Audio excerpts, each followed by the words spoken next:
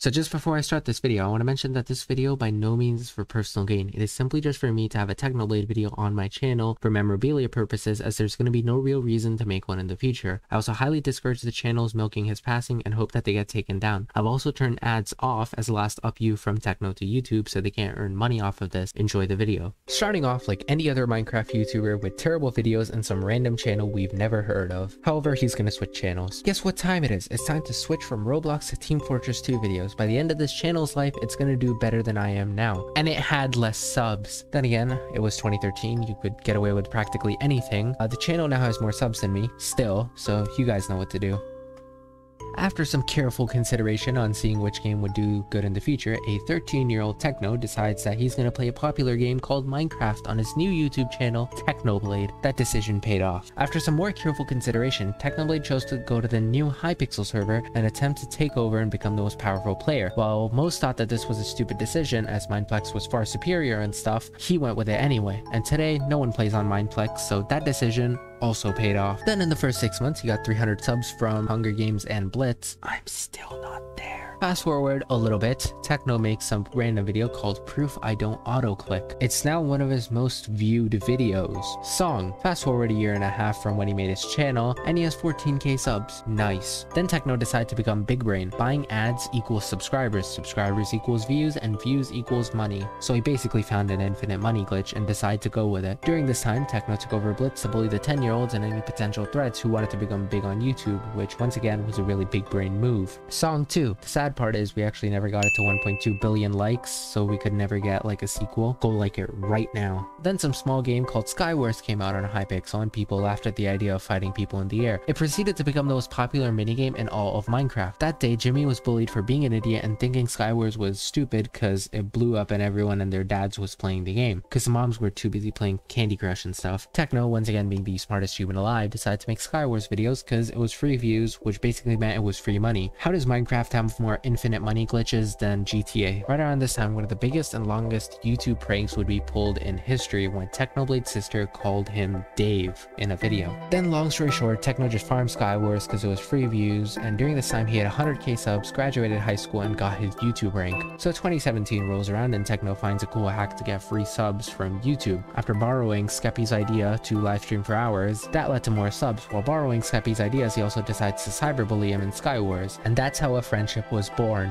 While Techno was just farming subs like potatoes, he also beat the game on hardcore on a steering wheel, cause why not? It's the natural show of dominance. It also casually just doubled the subscriber count from 150k to 300k. So yeah. Then future English Major Man takes a gap year because free money and subs. Once again, new game on Hypixel where you fight people in the sky and kill them and break their beds so they can't sleep and eventually die due to not having a shelter and back pain because they're forced to sleep on the ground. So it casually gets thousands and thousands of players at a time and becomes the most popular game on Hypixel. Once again, Techno saw free views and money, so he went for it. In order to get more views, Techno decides to break the world record by casually getting a really, really big win streak. It went from beating a world record, which was like 375 or something, to like getting a win streak of 1800 wins. Now, Forkknife was taken over and Minecraft was slowing down, and Techno was actually losing subs every time he uploaded. He tried to make Fortnite content, but it just wasn't the same. So then, a guy named PewDiePie and a guy named Call Me Carson make two separate videos of just playing the game, and then some green guy makes a video on PewDiePie, and boom,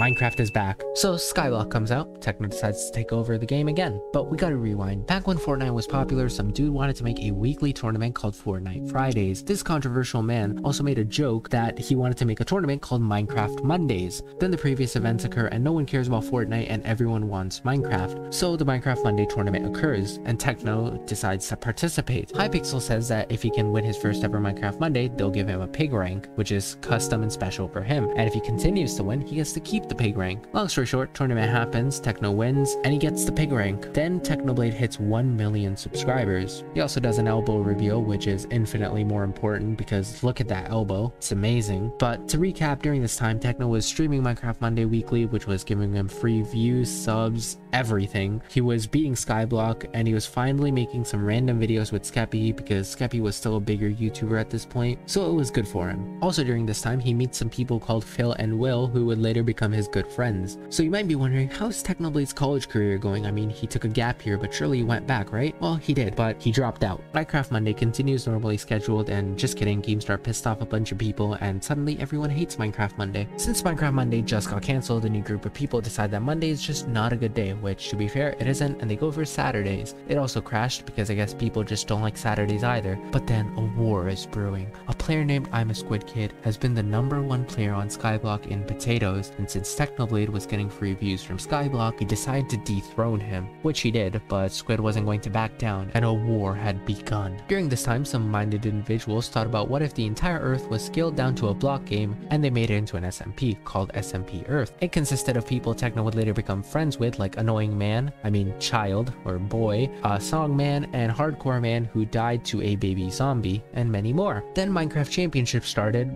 because I guess people really hated naming it by any days of the week and went for some cool word only English majors use. Techno competed in it, it was pretty good, and he's the second best player overall, just behind Pizza Hut. And if you ask Dream stands behind Dream and Pizza Hut. The potato war continues as Techno starts to pull ahead because he doesn't have a life and farmed potatoes for a year straight. Now remember when Techno participated in a little tournament called Minecraft Championship? Well, he did it again, and this time he actually won. Therefore, he was spared from his chat and his chat sort of respected him for once. Not gonna lie, didn't expect a vlog from Technoblade, but it was kinda good. Then the potato war came to an end with Techno winning. Techno thought that he'd won, but in reality, Squid Kid got thousands and thousands of subs, and all Techno got was an NPC, which disappeared the day after. So in reality, who really won? Remember how Techno's chat doesn't respect him until he wins the tournament? Well, he lost a bunch again. Then he met a guy named Dream, together being the two best Minecrafters. They won the tournament. Chat still didn't respect him because they said he got carried. Remember the SMP thing? Yeah, it ended a long time ago and Dream made a new SMP because he wants to get popular. By this time, there's a clear divide in the Minecraft community on who the best player is. The Dream stands thought that it was Dream who was the best, and some of Techno's viewers thought that he was the best. So instead of sending millions of 10 year olds to attack each other on servers, the two YouTubers went to a war. A war funded and sponsored by Mr. Beast. Long story short, Techno won, but with the whole we're all winners was basically a tie. And they both decided to share the money. But in reality, Techno won, and now he was the best Minecraft player ever.